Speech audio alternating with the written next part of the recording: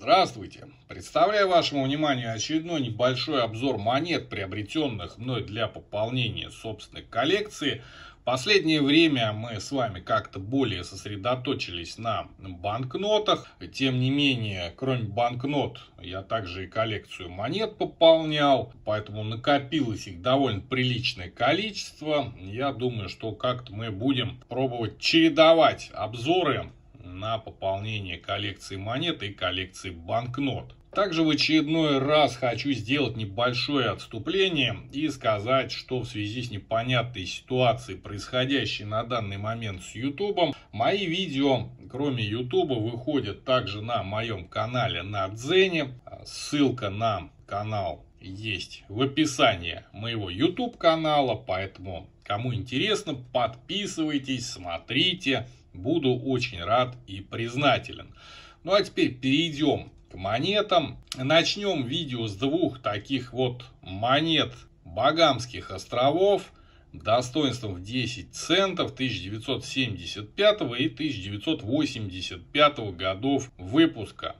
Хочу напомнить, что Багамские острова или Содружество Багамских островов – это государство, расположенное на одноименном архипелаге, который находится севернее Кубы и юго-восточнее полуострова Флориды. Багамские острова – это бывшая британская колония, получившая независимость в 1973 году. Денежной единицей Багамских островов является багамский доллар – Монета имеет такую довольно интересную форму. На аверсах обеих монет изображен государственный герб Багамских островов. Ну а на реверсах изображены такие вот рыбы. Данная рыба называется альбула или белая лисица. Это вид рыб семейства альбуловых, широко распространенный в тропических и субтропических морях. Далее Монета Барбадоса 1984 года выпуска достоинством 10 центов.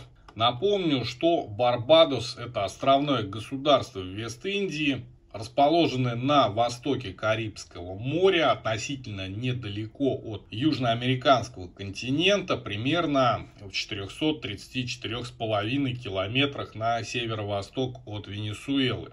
Барбадос это также бывшая британская колония, получившая независимость в 1966 году. Денежной единицей Барбадоса является барбадосский доллар. 30 ноября 2021 года Барбадос формально отменил монархию, закрепив власть за президентом страны. Хотя Барбадос так и остался членом Содружества наций.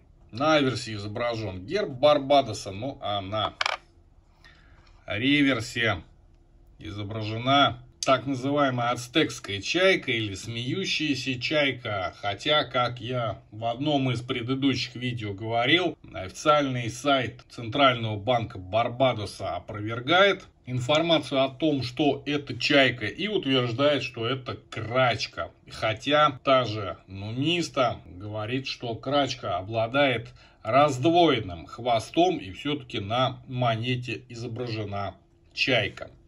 Далее, также две барбадосских монеты, также достоинством в 10 центов, но 2009 и 2012 годов выпуска.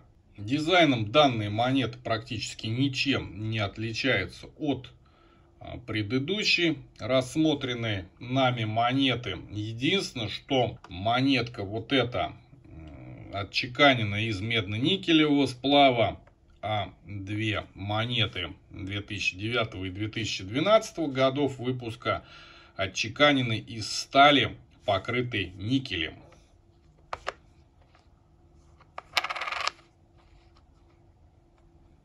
Далее. Три однодолларовых монеты Барбадоса 1988, 1900 98 и 2005 годов выпуска.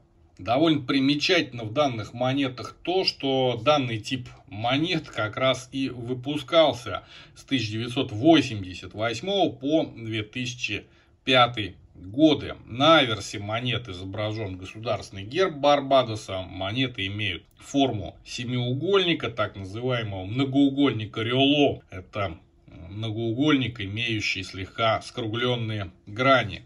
Ну а на реверсах всех монет изображена летучая рыба.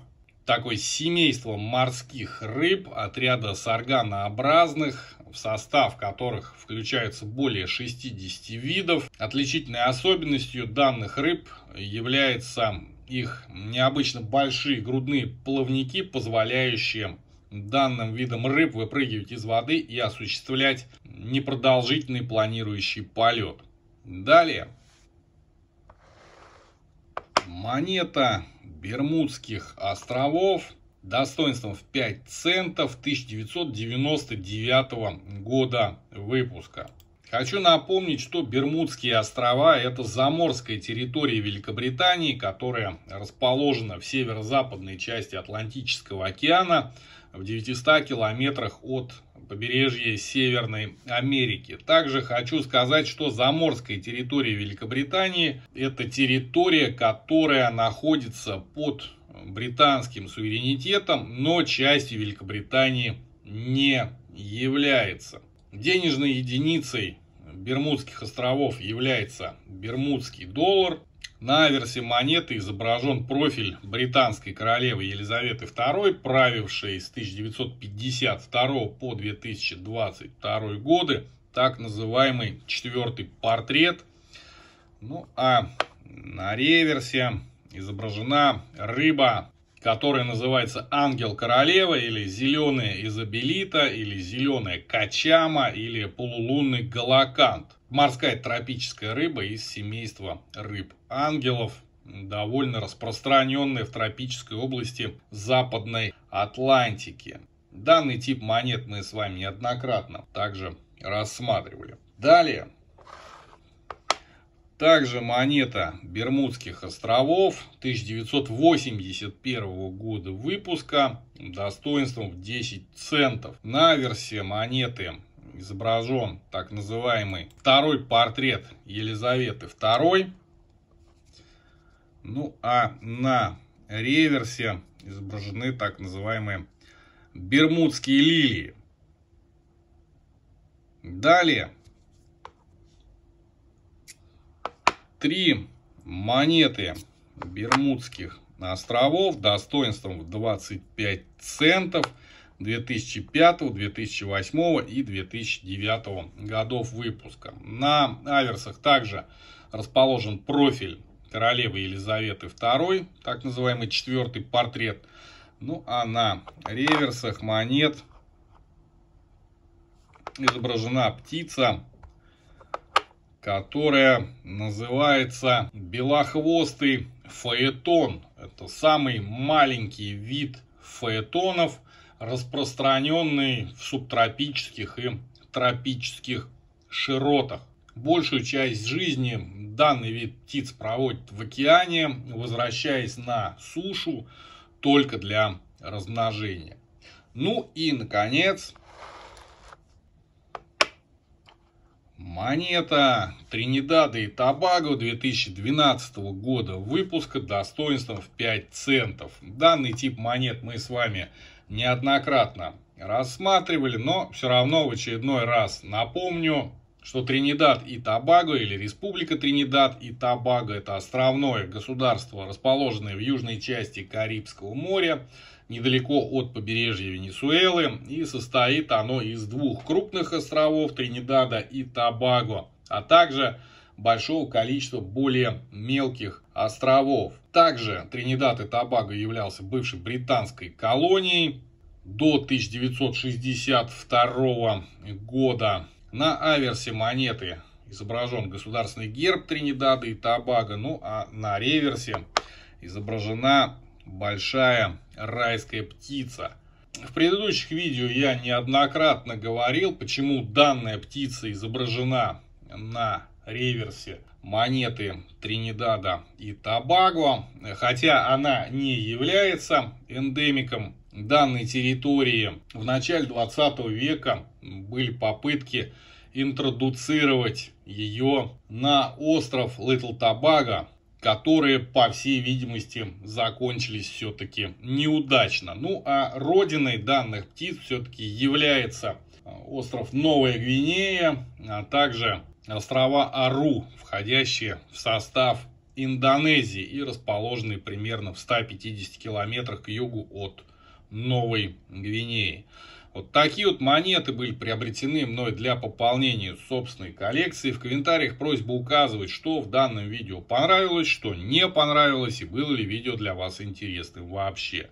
Ну, а я всем желаю удачи в пополнении коллекции. Собственную коллекцию я также буду пополнять по мере сил, возможностей. А самое главное, наличие свободного времени. Ну и по традиции, до новых встреч!